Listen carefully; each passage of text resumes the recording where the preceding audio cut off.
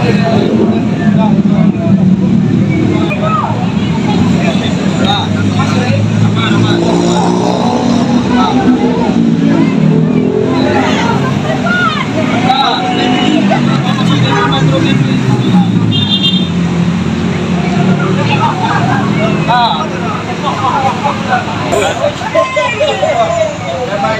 nasinya nih, ini nasinya.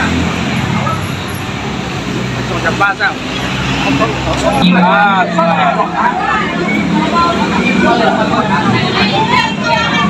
Ana manusia cang hijau. Nah,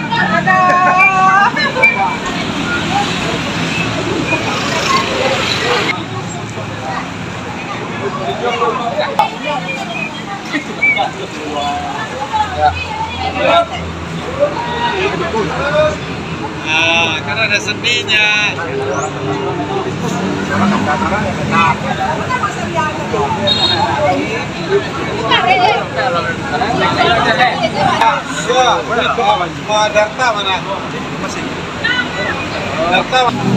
Untuk dalam ini, ar. Sini, sini, sini. Dalam era. Awas, hati-hati.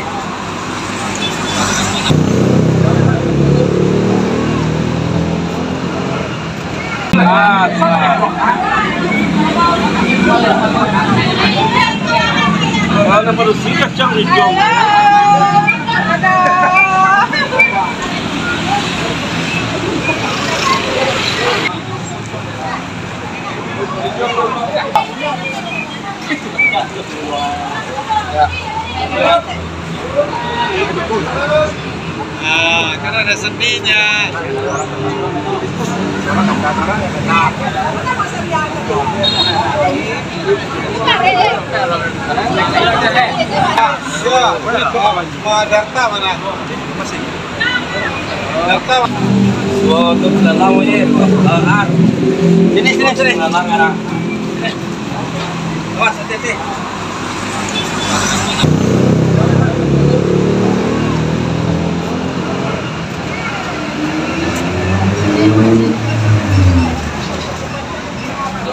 Awas,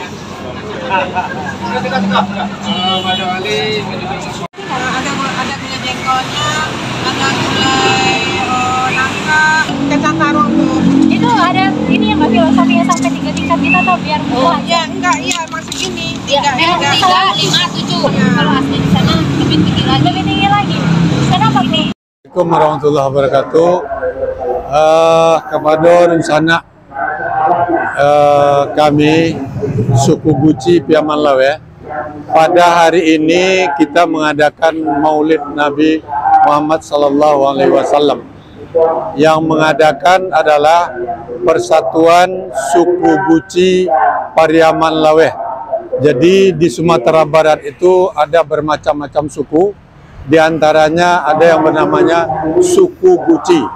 Nah, hari ini suku Guci Piaman Lawe beserta uh, saudara-saudara kita yang berasal dari Minang mengadakan makan bajamba. Jadi Maulid makan bajamba ini yang sudah diadakan turun-temurun dari uh, leluhur kita dulu untuk memperingati Maulid Nabi Muhammad Wasallam yang diadakan tiap bulan Maulid. Itu sudah rutin diadakan di surau-surau di masjid di Pariaman dan di Sumatera Barat umumnya. Nah, kita uh, karena kita ini bermacam-macam budaya, Minang di antaranya sekian ratus macam budaya di Indonesia ini.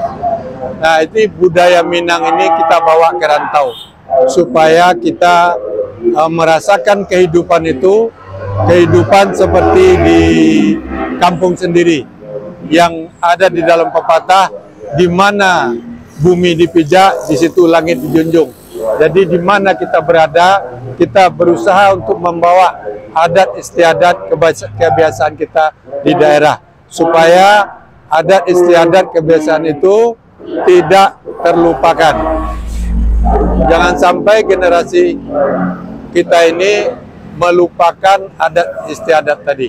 Demikian saya kebetulan adalah eh, ketua pembina dari Persatuan Suku Guci Piaman Laweh. Bajamba itu artinya apa tuh Pak? Bajamba itu ada satu tradisi uh, bentuk daripada sajian. Nah inilah bentuk sajiannya itu yang tidak biasa dibuat.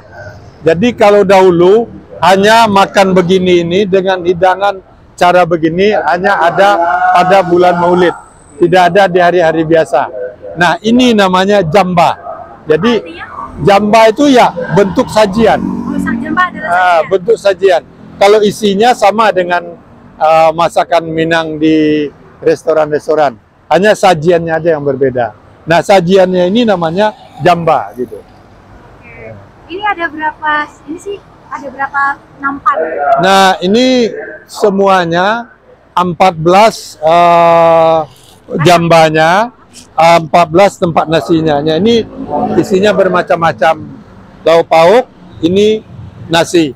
Nah, satu jamba ini digabung dengan jadi satu itu untuk 30 30 orang. 30 orang. 30 orang jadi kalau 14 lebih kurang untuk 500 orang Oke. Ada arti Hah? dari angka 14 yang disajikan itu ada 14 bajamba itu. Oh enggak, jadi itu kita mengukur dari saudara-saudara kita yang datang. Ini kan ada tiga tingkatan ya? Iya, Infonya ada tiga, ada lima, ada tujuh, bahkan Iya. Sumatera Barat sampai tujuh tingkatan. iya. Itu kenapa memilih angka ganjil? Nah kan eh, Allah itu suka dengan yang ganjil. Makanya eh, apa hitungan itu satu tiga tujuh sembilan kan gitu. Jadi itulah yang dibuat oleh apa penerus-penerus kita sebelumnya. Kita hanya menjalankan, meneruskan tradisi yang sudah biasa dibuat supaya apa artinya sekalipun kita di rantau ah, cara dan kehidupan itu kita ciptakan bagaimana kita rasa di kampung.